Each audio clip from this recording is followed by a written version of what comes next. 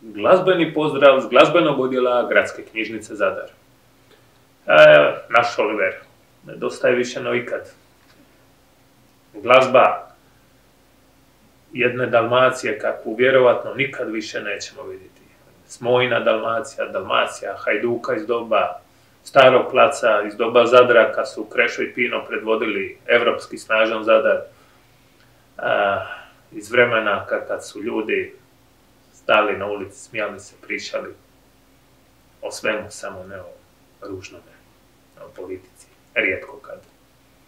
O sportu, glazbi, za Frkanci,